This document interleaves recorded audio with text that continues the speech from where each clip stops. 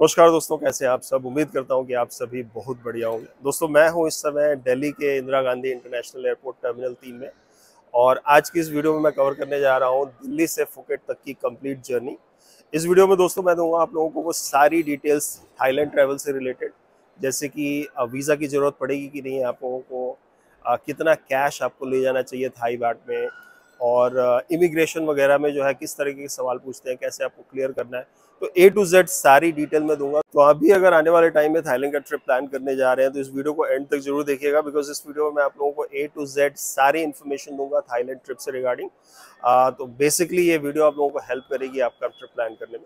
चलिए इस वीडियो को शुरू करते हैं। तो दोस्तों, सबसे पहले जान लेते हैं कि आपको किन किन चीज़ों की रिक्वायरमेंट होगी थाईलैंड ट्रैवल ट्रिप प्लान करने के लिए। सबसे पहली चीज़ जो चाहिए होगी, वो होगा आपका पासपोर्ट एक चीज़ आपको ध्यान रखना है कि आपका पासपोर्ट कम से कम सिक्स मंथ्स तक वैलिड हो। किस डेट से, उस डेट से, जिस डेट पे आप थाईलैंड से वापस इंडिया आ रहे हैं, उस डेट से कम से कम छः महीने तक आपका पासपोर्ट वैलिड होना चाहिए।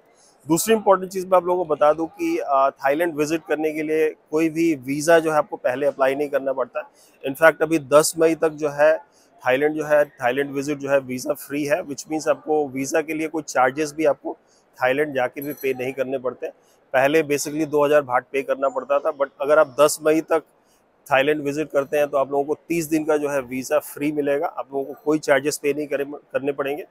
और एक और चीज़ पहले जो है फोटोग्राफ की ज़रूरत होती थी साथ में फिल फॉर्म जो है फिलअप करना पड़ता था।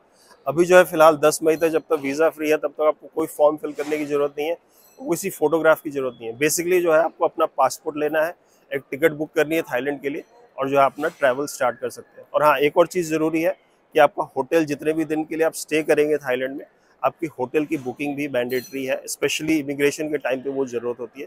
तो ध्यान रहे कि वो सारी बुकिंग आपकी डन हो, इससे पहले कि आप ट्रैवल स्टार्ट करें अपना। तो अब दोस्तों मैं चलूँगा चेक इन काउंटर की तरफ़, वहाँ से अपना बोर्डिंग पास लेंगे और आगे की इन्फॉर्मेशन मैं वीडियो में आगे आप लोगों को देता रहूँगा। तो इस वीडियो को जो है बिना स्किप किए हुए एंड तक देखिएगा ताकि अभी कोई इंपॉर्टेंट डिटेल मिस न कर जाए।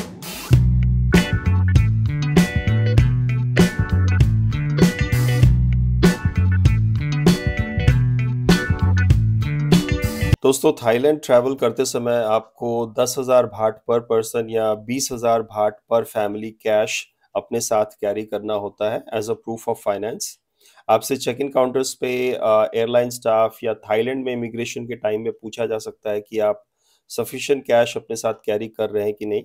तो ध्यान रहे कि आप अपने साथ कम से कम दस हज़ार भाट पर पर्सन ज़रूर कैरी कीजिए ताकि कोई दिक्कत ना हो।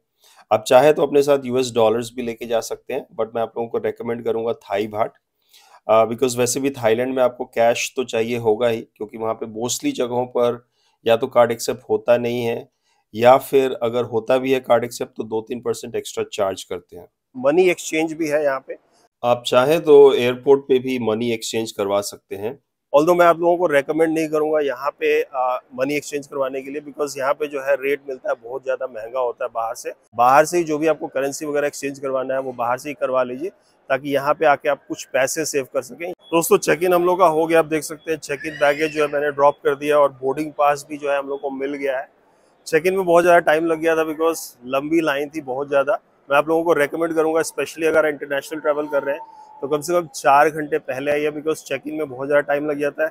उसके बाद हम लोग को जाना है सिक्योरिटी चेक फिर इमिग्रेशन होगा। तो उसमें काफ़ी ज़्यादा टाइम लग जाता है। तो मैं आप लोगों को रेकमेंड करूँगा कि कम से कम चार घंटे पहले ज़रूर एयरपोर्ट आप लोग पहुँच जाए। लिए चलते हैं।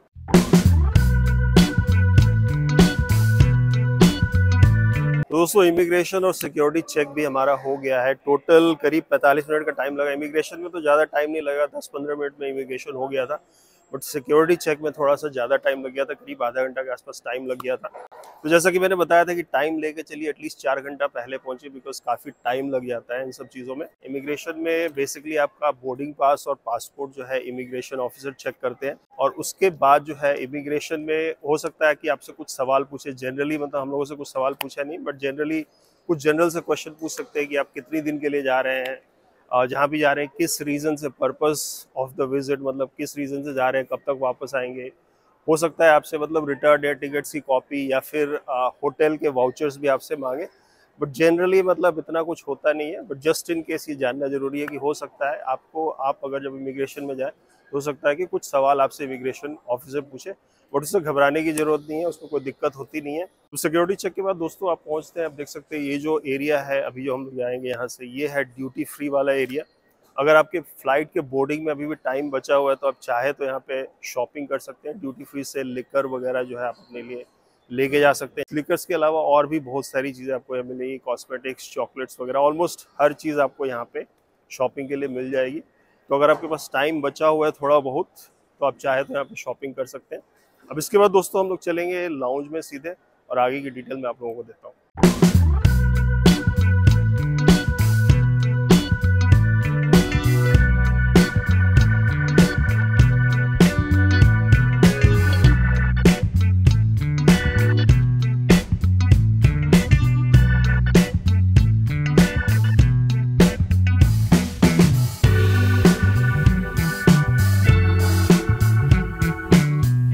दोस्तों देख सकते हैं आप ये ड्यूटी फ्री वाला एरिया जो है कितना बड़ा है। यहाँ पे शॉपिंग के लिए आपको ऑलमोस्ट हर चीज़ मिल जाएगी। काफ़ी बड़ा ऑलमोस्ट एक मॉल की तरह है। साथ ही साथ यहाँ पे एक फ़ूड कोर्ट भी है। अगर आप कुछ खाना पीना चाहें तो फ़ूड कोर्ट में जाके कुछ खा पी सकते हैं। आ, बट मैं आप लोगों को खाना पीना जो है फ़ूड कोर्ट में रेकमेंड नहीं करूँगा। वो इसलिए क्योंकि एयरपोर्ट पे जो है स्पेशली खाना जो होता है यहाँ पे बहुत ज़्यादा महँगा होता है। बाहर से ऑलमोस्ट थ्री फोर टाइम्स महँगा पड़ेगा आप लोगों को फ़ूड कोर्ट में। एक चीज़ आप कर सकते हैं वो ये कि अगर आपके पास कोई क्रेडिट या डेबिट कार्ड है जिसपे एयरपोर्ट के लाउंज का एक्सेस है तो आप सिर्फ़ दो रुपए पे करके जो है लाउंज की जो है सर्विसेज़ आप यूज़ कर सकते हैं। अगर आप इंटरनेशनल फ्लाई कर रहे हैं तो बुफे के साथ साथ जो बुफे होता है लाउंज का, वो almost three four star hotel के बुफे की तरह होता है। और साथ ही साथ जो है अनलिमिटेड ड्रिंक्स को भी आप इंजॉय कर सकते हैं। अभी जिस हम लोग बैठे थे करीब एक घंटा, हमने लाउंज में स्पेंड किया। तो अगर आपके पास डेबिट या क्रेडिट कार्ड ऐसा कोई है, अगर नहीं भी है तो मैं आप लोगों को रेकमेंड करूँगा कि आप एक ऐसा कोई क्रेडिट या डेबिट कार्ड बनवा लीजिए जिसपे भी लाउंज का एक्सेस हो। जब भी आप इंटरनेशनल ट्रैवल करें तो लाउंज की जो सर्विसेज़ है उसका ज़रूर आनंद उठाइए। You will not be disappointed अब चलते हैं बोर्डिंग गेट पे और आगे की इन्फॉर्मेशन आप लोगों को आगे देंगे।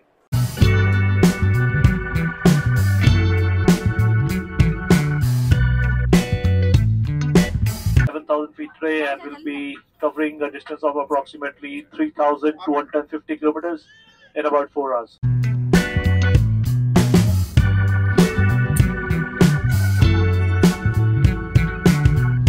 दोस्तों रात के करीब पौने दो बज चुके हैं। फ़्लाइट जो हम लोग की टेक ऑफ़ कर चुकी है। ऑलमोस्ट आधा घंटा हो गया है टेक ऑफ़ किए हुए। अब यहाँ से करीब चार घंटे के आसपास लगना चाहिए हम लोग को फुकेत पहुँचने में। आ, लोकल टाइम जो होगा थाईलैंड का जो लोकल टाइम होगा करीब सात बजे के आसपास हम लोग लैंड कर जाएँगे। अगर किसी रीज़न से फ़्लाइट डिले नहीं हुई तो। अब फुकेत पहुँच के मैं आप लोगों को बताऊँगा कि कितना कुछ चेंज हुआ है। अब जबकि वीज़ा फ्री अराइवल्स है इंडियंस के लिए।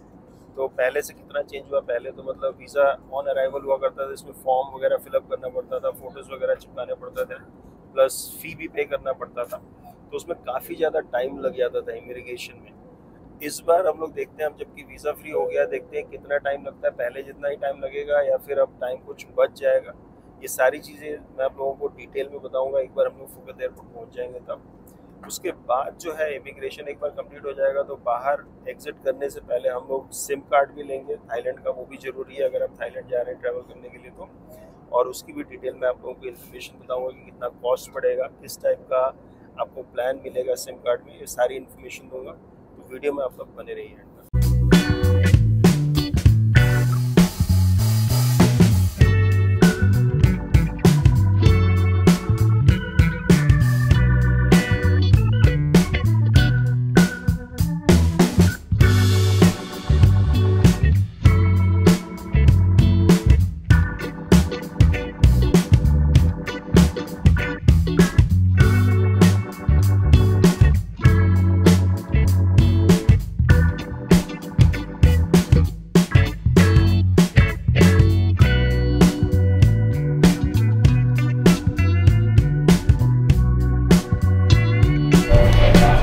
दोस्तों, फुकेत में, फुकेत के करीब सात बज चुके हैं और फ्लाइट्स हम लोग के लैंड कर चुकी है। इनफैक्ट फ़्लाइट से हम लोग बाहर भी निकल गए। उसके बाद जो पहला स्टेप हम लोग का होगा, वो होगा इमिग्रेशन का। आगे चल के देखते हैं कि क्या कुछ है, जो भी होता है आप लोगों को डिटेल में बताएँगे।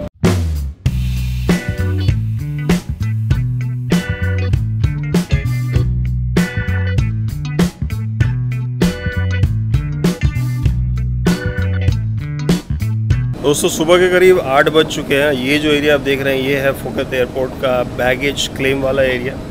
यहीं से जो है आप सिम कार्ड वगैरह मनी एक्सचेंज करवाना चाहें करेंसी एक्सचेंज वगैरह करवाना चाहें, आप करवा सकते हैं। तो बेसिकली फ़्लाइट जो है दोस्तों, हम लोग की पहुँच गई थी आधा घंटा पहले ही, सात बजे लोकल टाइम जो था, वो टाइम था अराइवल का, लेकिन करीब साढ़े छः बजे के आसपास जो है हमारी फ़्लाइट लैंड कर गई थी। और उसके बाद जो है इमिग्रेशन में जैसा कि मैंने बताया था कि कोई भी फॉर्म वगैरह फिलअप करने की ज़रूरत नहीं है पहले की तरह, और ना ही आपको फ़ोटोग्राफ चाहिए। इमिग्रेशन में बेसिकली हुआ है कि हम लोग अपना पासपोर्ट दिखाना पड़ा और बोर्डिंग पास दिखाना पड़ा और साथ में जो है हमारा फिंगरप्रिंट जो है फिंगरप्रिंट स्कैन किया और फिर उसके बाद जो है हमें एंट्री मिल गई। तो बिल्कुल भी हैसल फ्री था। पहले जितना टाइम लग जाता था फॉर्म फिलअप करने में, बहुत ज़्यादा रश हो जाता था। इस बार जो है बहुत ही स्मूथ प्रोसेस था। तो मैं बताऊँगा कि मतलब जितना टाइम जनरली लगता था, उसका मुझे लगता है कि टेन परसेंट मुझे टाइम लगा होगा हम लोगों को इमिग्रेशन क्लियर करने में। अब इसके बाद जो है इमिग्रेशन क्लियर करने के बाद हमने यहाँ पे बैगेज क्लेम में अपना जो है चेक इन बैगेज कलेक्ट कर लिया और उसके बाद यहीं से हमने सिम लिया है। यहाँ पे एयरपोर्ट पे ही आप चाहे तो अपने लिए जो है सिम कार्ड जो है ले जा सकते हैं। सिम कार्ड जो है अलग अलग दो तीन यहाँ पे सर्विस प्रोवाइडर है। बट मैंने जो लिया था, सिम कार्ड लिया है, वो है डी टैक वालों का। और डी टैक का इसलिए लिया क्योंकि मैंने जब पहले भी थाईलैंड में आया हूँ एक दो बार, तब भी मैंने डी टैक की सर्विसेज़ यूज़ की है तो उनकी सर्विसेज़ जो है, उनका नेटवर्क वगैरह जो है काफ़ी बढ़िया रहता है। बैंकॉक पटाया में भी हमने यूज़ किया उनकी सर्विस, काफ़ी बढ़िया रहता है तो इसीलिए मैंने डी टैक से ही लिया। हमने जो लिया है, हमें यहाँ पे करीब फाइव नाइट स्टे करना है तो मैंने एक्चुअली लिया है sim card. Four hundred Thai baht का, जिसमें जो है मुझे अनलिमिटेड 5G इंटरनेट मिलेगा और साथ में अनलिमिटेड कॉलिंग भी है, आठ दिनों के लिए। तो पाँच दिन ही रहना है बट ऑप्शन जो दूसरा था, वो तीन दिन का था, जो हमारे लिए नहीं था। तो आप भी अगर थाईलैंड आते हैं, फुकेत आते हैं स्पेशली या फिर बैंकॉक भी जाते हैं, कहीं भी किसी भी एयरपोर्ट पे आते हैं थाईलैंड में तो आप, मैं आप लोगों को रेकमेंड करूँगा डी अदरवाइज़ दूसरे सर्विस प्रोवाइडर भी हैं और प्राइसेस जो है ऑलमोस्ट सिमिलर ही हैं। डी टैक इसलिए लिया गया मैंने क्योंकि मैंने पहले इनकी सिम कार्ड्स यूज़ किए हुए हैं, जब भी मैं पहले थाईलैंड आया था तो उनकी सर्विसेज़ जो है काफ़ी अच्छी थी, इसलिए मैंने लिया। दोस्तों, उम्मीद करता हूँ उस वीडियो से वैल्यू मिली होगी। अगर वीडियो अच्छी लगी हो तो प्लीज़ वीडियो को एक लाइक ज़रूर दीजिएगा। इस टॉपिक से रिलेटेड कोई भी सवाल हो थाईलैंड के ट्रैवल से रिलेटेड कोई भी सवाल हो तो मुझे बेझिझक कमेंट सेक्शन में जाकर सवाल पूछेगा मैं आप लोगों को इंस्टेंटली रिप्लाई करने की कोशिश करूँगा। थाईलैंड में जैसा कि मैंने बोला कि हम लोग का पाँच नाइट स्टे करने का प्लान है फुकेत में ही स्टे करेंगे। किसी और सिटी को विज़िट नहीं करेंगे विच मीन्स आने वाले टाइम में फुकेत की काफ़ी सारी इन्फॉर्मेटिव और एक्साइटिंग वीडियोज़ लेकर आऊँगा। तो चैनल अभी तक आपने मेरा सब्सक्राइब नहीं किया तो चैनल को प्लीज़ सब्सक्राइब कर लीजिए। तो मिलता हूँ दोस्तों, आप लोगों से बहुत ही जल्दी थाईलैंड की एक नई वीडियो के साथ, तब तक के लिए जय हिंद।